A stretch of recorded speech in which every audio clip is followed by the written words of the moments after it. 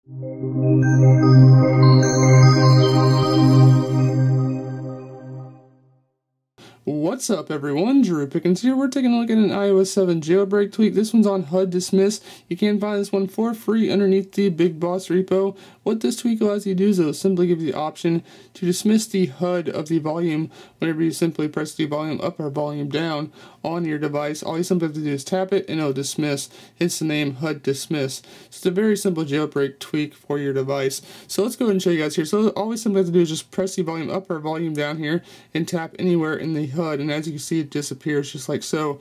Normally it would take a few seconds to disappear but now all you simply have to do is just tap it and it goes away. Now this is great if you're listening to like music videos on YouTube on your iPhone or if you're watching Netflix on your iPad.